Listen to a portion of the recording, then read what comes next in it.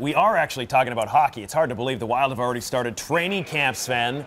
And today, fans got to see water from their favorite hockey ponds, their favorite lakes and rinks added to the ice at the X. It's called This Is Our Ice. So it's been so exciting to have so many fans come out and embrace this idea. Uh, so people are bringing water from their ponds and lakes and backyard rinks into our Zamboni, dumping it right in.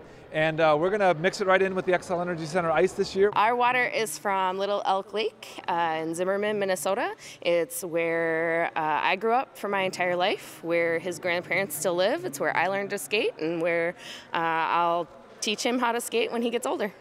No, we were all just saying, this is a brilliant idea. And you can still do this. Fans can drop off water for the rink every home game at Gate 1, and they'll use it for the ice at the first intermission.